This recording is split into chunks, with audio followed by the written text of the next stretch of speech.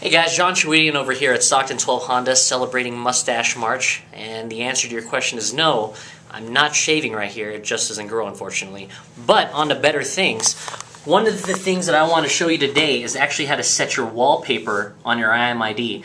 Now this is a function that's on a lot of the new Hondas. A lot of people don't even realize you can do it. This will be the first sequence in a couple videos of what you can actually do with this fantastic uh, feature. So let's go take a look at the car. Guys, here's the vehicle we're going to be working with. This is an LX Coupe Civic. I chose this just because it's a baser model, and you should know that even on the base models you can do this. First thing I did was I actually plugged in a flash drive I borrowed from someone down in service. Now, once you plug that in, you're going to go here to your IMID. First things first, you're going to hit Menu. And right there, you're going to actually see a couple different features here.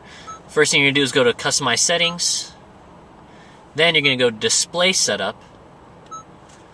And once again, I'm controlling this with uh, my at-will controls, pressing right to select what I need to. Now since I plugged in a flash drive, right there you'll see import wallpaper. I'm going to pick that.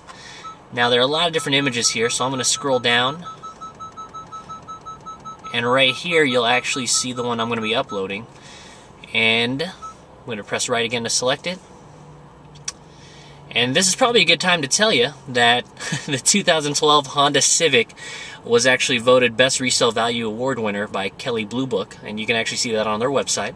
But I'm actually going to be picking this, so I'm going to hit the center button, Save, and it's going to ask me where to save this. And I can pick image 1, 2, or 3. I'm going to pick image 2. You actually have the ability to save up to 3 different images.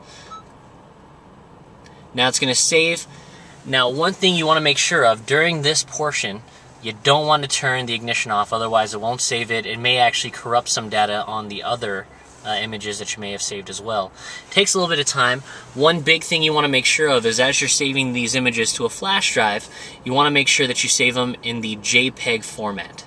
Uh, I don't think it's necessary, but usually it's the best image quality and uh, it's a little easier just to make sure things are standard as you're saving it.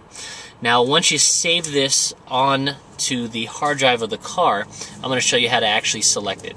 So, once again, do not turn off your ignition as this is going on. Now, once that happens, I'm going to go to, I'm going to actually exit out of here. Now, once I've imported the wallpaper, I'm going to go to select wallpaper. And you have the option of the clock, and I also have, I saved it twice. Image 2, I'm going to pick this. And now it's been selected. Now I'm going to hit menu to exit. And as I scroll through the pages here, you'll see the I button here. You can actually scroll through. This is supposed to be the audio screen, but it's off. I'm going to press that. This is your average fuel, uh, range till empty. And then this is just your blank screen if you don't want to look at anything. And right there's your wallpaper. Now you can use this to have family photos, pictures of your dog, picture of yourself, uh, anything that cheers you up while you're driving, anything besides a plain black screen that may keep you cheery as you're driving. So that's basically how you do that. A lot of different options. And stay tuned. Next video that I'm going to be doing is going to show you a couple other cool things you can do with the IMID. Looking forward to seeing you then.